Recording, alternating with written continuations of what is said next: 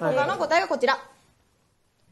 後藤さん。後藤さんは何が言いたいのかよくわからない。西崎さん。ちょっと今日はいないんですけど、今高校2年生で、まあ、あの勉強も頑張ってる時期なんですけれども、ちょっと日本語の方が不得意なようで、なんかこう伝えたいことが伝わらなくて、もうイライラしてくるんですよね、だんだん。もうだってさ、そのキャラさ、一人いるわけじゃんか。そうなんですよ。だから、そうだから私はもう卒業したいと思ってるんです。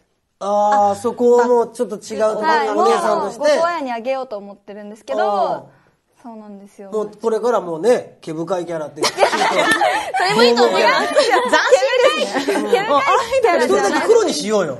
嫌ですなんで？したらあんま目立たない。目立たないよ。全然目立たないよ。嫌です嫌です全然黒くないですし、めっちゃ、私、志村あれ理香、ちちっちゃい頃の写真とかでない？牛乳飲んだらここにひげ生えてる人の写真。残ってなかった？でも私、あれですよ、あの、志村理香って、あの、検索すると、ボーボーアイドルって言われてる。いや、検索すると、脇って出てくるんですよ。なるほど。でも、でも、脇が綺麗の方で出てくるんですよ。本当？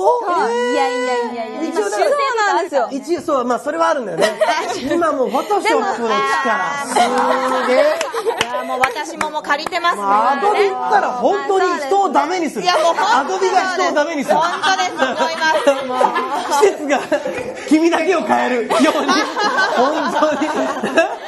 もうボーイ以上に、季節が君だけを変えるように、アドビが人を変えていく。本当に。いやでも、でもどう？だ実際のところ、あの、英脱の方ってどうですか？